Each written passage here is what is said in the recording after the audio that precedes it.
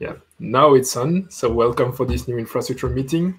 Um, so um, yeah, the, the last week has been quite busy. Um, so the first topic that we that I would like to, to cover is automating uh, Jenkins releases. So uh, thanks everybody for the help uh, on this last week. Um, so basically, we did a great achievement. It was a two years long project um, to switch from KK Basement to um, the Jenkins infrastructure uh, in order to release the Jenkins um, version. Um, so yeah, it was at least it was a bit painful, but I mean, I guess it just means that we have to do it more often. Um, so we had a first release last Thursday. We did a second one yesterday, which was, um, I mean, bet- which was way better.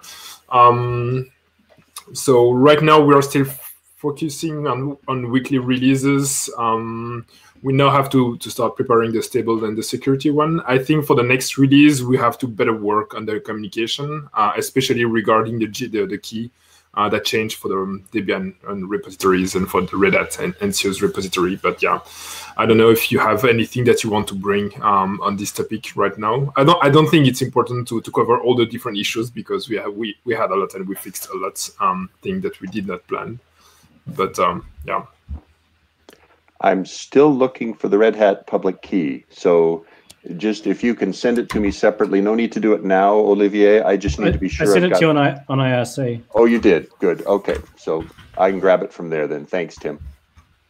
Uh, does that mean? I mean, is it not publi- Is it not uh, available on the website? Is it something that It we is. have to add? It is Okay. there. I, I, I Okay, so- where so to get it that- from and the direct link. That key has been updated then. The the old key is gone, replaced by the new key. Yeah, you can't install the old versions because the old key's gone. Yeah, that worries me. Okay, so have we broken LTS by that? I Um, not. No. it's so a different folder. so So, yeah, yeah. So that, that I think that's a good point. Uh, basically, what happened here is that we changed we changed the key for um, the new releases, and if we want to use the old keys, they are still available, but in the different repositories like uh, Debian stable, Red Hat stable, or whatever. And I think it's important to to have a specific backup. So that I mean, you raise a good point here. Um, yeah. we need We're we need to be able copying to yeah we need to be aware we need to be able to provide um all keys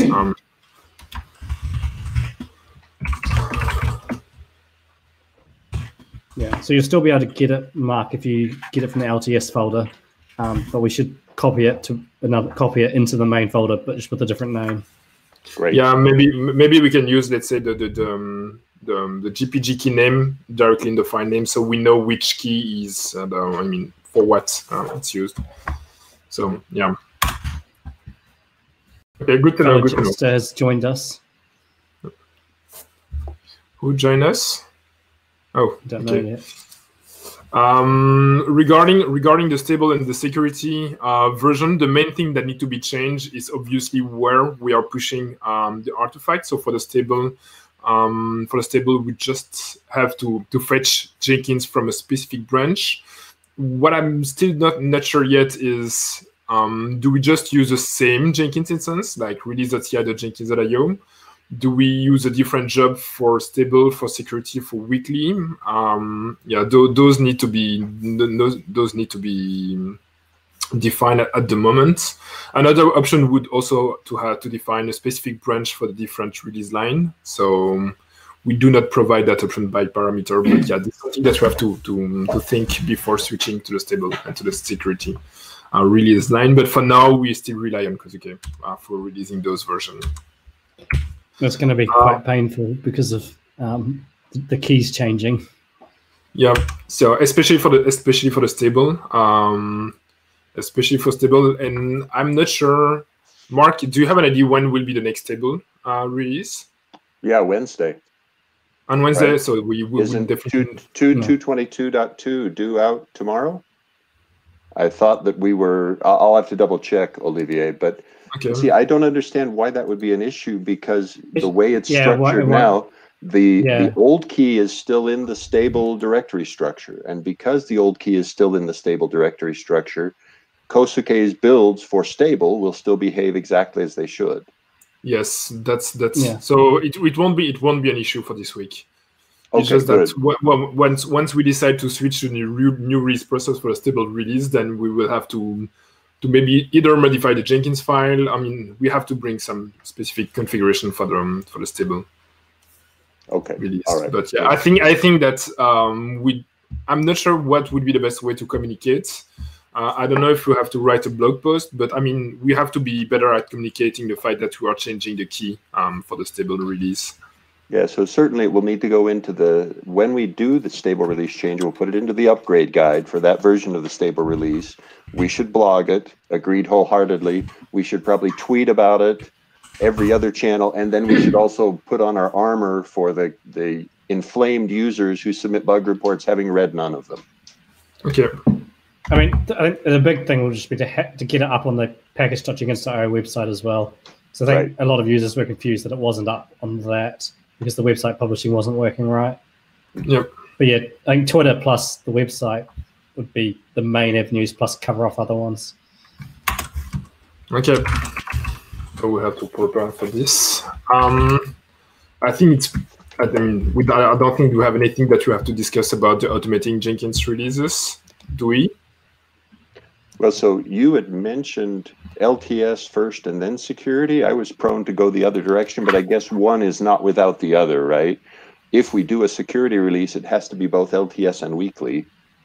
And so, So- so I think I, I mean uh, I I think the, the reason why I first mentioned LTS is because it seems easier to me. Uh, the, so, but yeah, you you're totally right that we need to first be able to to trigger a security release uh, and then switch to the LTS. The reason why um, so the the requirements um, asked by Daniel for the security releases. So you want to be able to, to, to trigger release and push that release on a specific Maven repository, and that a specific Maven repository change for each uh, specific security issue, so that only the security team and the people who reported the security issue can work on those. Um, so this is a strong requirement uh, by Daniel. And so, yeah, we need to be able to provide a dynamic way to, to specify which Maven repository we want to, to I mean, where we want to push uh, the release. And that's why, Right. but yeah, I, I don't So, think yeah, it's it's- rocket science. It's just like the process is not Yeah. the same.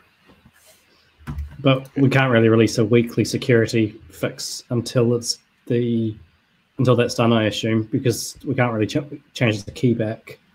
Yep. Yep.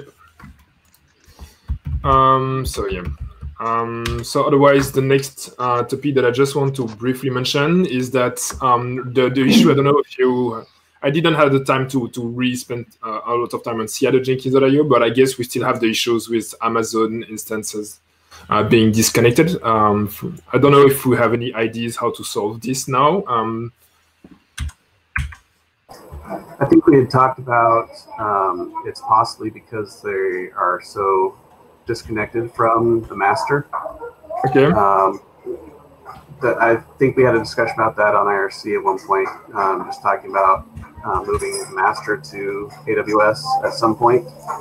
Um, Somebody talking. yes, can you not hear me? I can hear you just fine. I suspect Okay. you just got your family in the background. Oh, sorry. Yeah, we do. There are seven, eight of us, nine of us here. So, Exactly. You- um, you just got a family. It's okay. Um, so I don't know if that's something we want to look at. Are Mark, are you able away- to hear Alex? I can. Yes, it's just it's just the background noise. Alex has a family behind him. Oh, that's weird because I can't hear him at all. Oh, I I, I, hear everybody else. keep going, Alex. Um, so we, at some point, I don't know if it's our plan to move completely away from Azure or, or what, but I don't know if that would solve the problem moving the master over to AWS or not.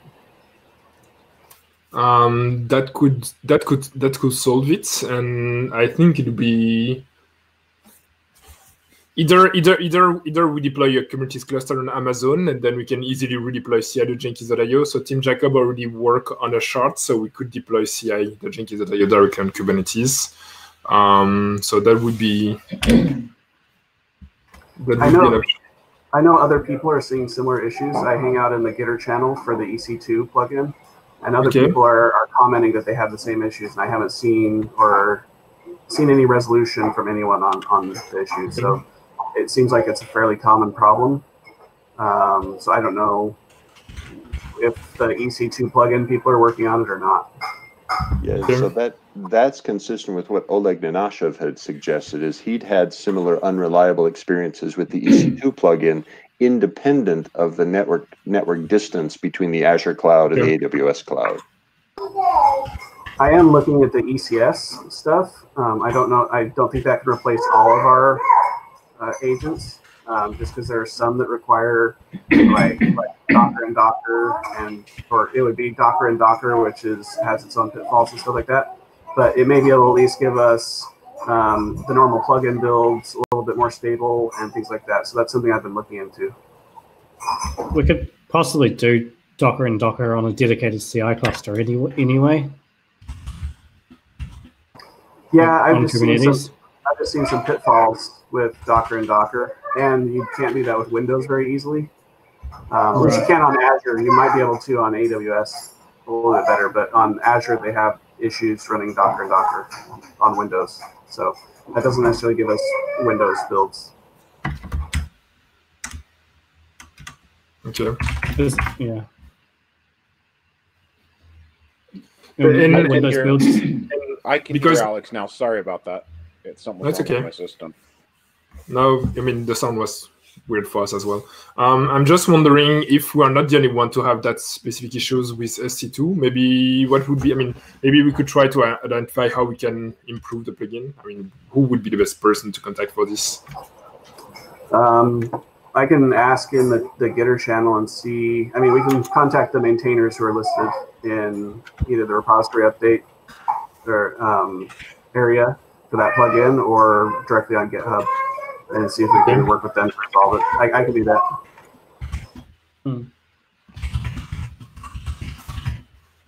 I think I think Raihaan is one of them, one of the Jenkins core maintainers. Um, I tried to check on GitHub, but GitHub's down.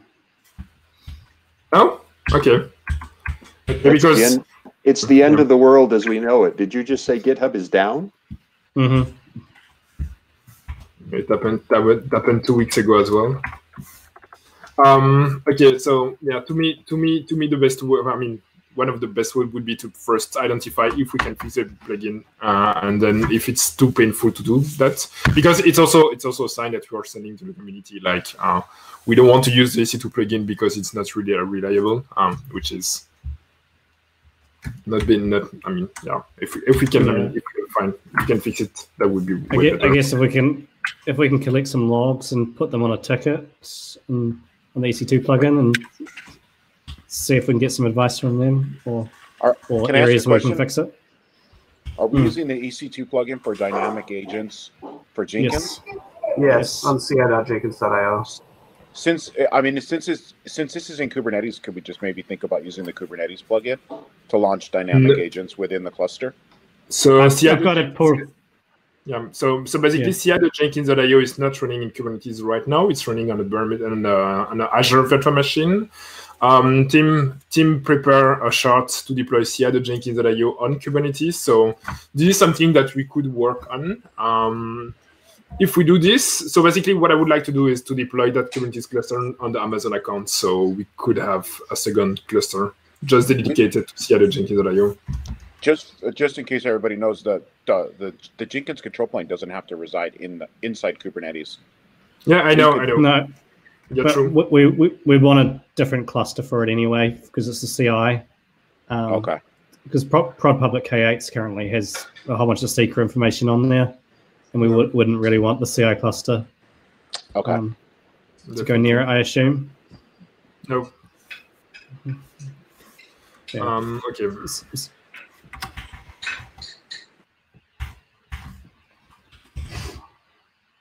And, and once we've got that cluster, we may as well just put CI Jenkins IO on it so it can be maintained properly. Currently, it's just ma- manually updated by Mark and Daniel mostly.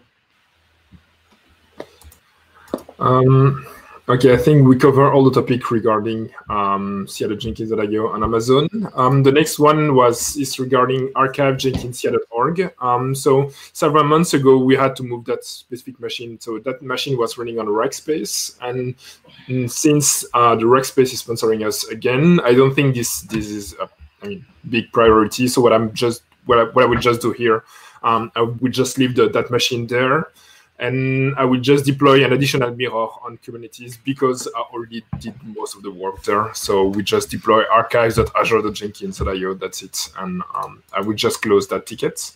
Um, another work that we started uh, working on was having agent for S390 uh, and PPC64. Um, I think the main blocker is still to to, autom- to, to configure those agents and to add those to CI Jenkins.io, right? Correct. Right? Yes, correct. They're they're running just fine for me in my test test environment. We just have to do the work to get them configured in the automation so that they'll be maintained correctly in the ci.jenkins.io as agents. Now, I understood from um, from Alex that we also have ARM64 capability now on ci.jenkins.io. Alex, is did I understand correctly?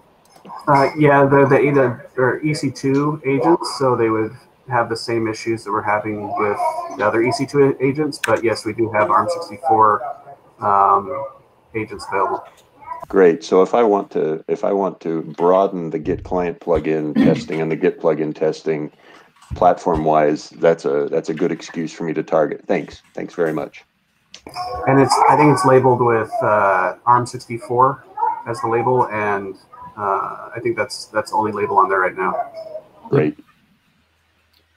Um, next topic is regarding Fastly. So the now we now have a Fastly account. Uh, it's configured working for plugins.jenkins.io. We made the configuration for Jenkins. So first for plugins.jenkins.io, um, it was really, simple to put in place.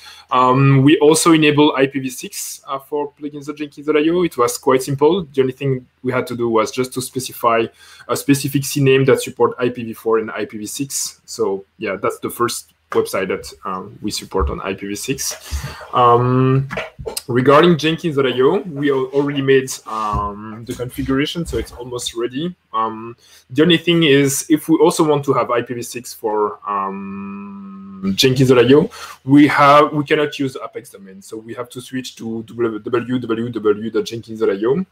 Um, I know that um, there are some configuration directly on the Helm charts. Um, I'm not sure if there are also redirects directly in the website, like um, inside um, uh, Jenkins and Fresh at Jenkins.io. This is something that I have to verify. But um, so yeah, unless unless you have any good reason to not switch to www to the subdomain, this is something that I would like to do in the coming days for now, we will just use uh, the Fastly account for those two websites. So I would like to identify um, how much uh, we are using in the budget that we can use uh, per month um, before before I mean before putting more more more more more more, more website there. What's the budget that we got in the end? We have one thousand per month. Okay. And so, so, so the, yeah this the serious temptation to put a piece of mirrors or of updates is not viable in a thousand dollars?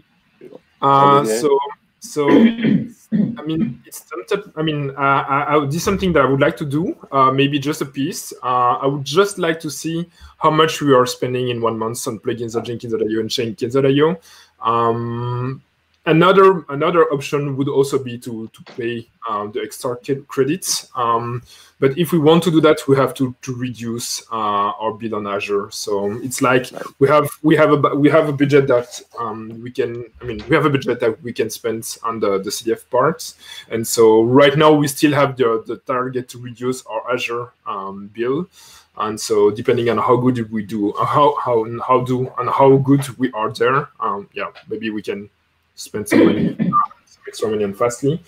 Um, we are still also in the process to simplify the building of the infrastructure project. So um, we are. Um, I started discussing with Dan Lopez from the CDF to see how we can, um, yeah, directly expense send the invoice to the CDF. So basically, what's happening for the Azure accounts right now? That's KK who is paying the bill and then has to be reimbursed. For Fastly, I ban my my credit card to the to the account. So we still have. Um, I mean, we, we still have like um, multiple accounts where we have our own information, and we would like to to have everything linked to um, to, to, to the CDF. So it's still a work in progress for now.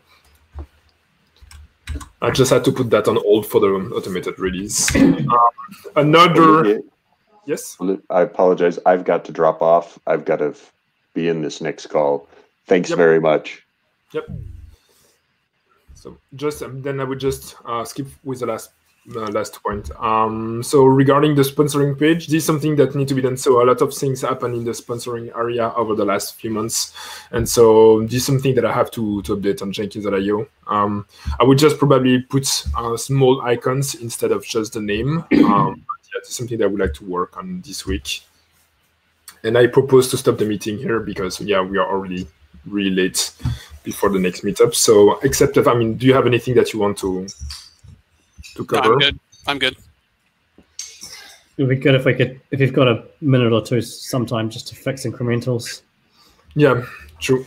Yeah, just put this. The thing that definitely need to be fixed. Okay. Yep. sounds, I- sounds I- like Daniel wants a new user. Yeah, um, I saw, I saw, um, but I, I was too busy with the automated release last week, and I, I didn't want to to switch the context. So Yeah, no. Um, yep, I keep that in my head. Thanks for your time. Thank you. Cool. Have a good day.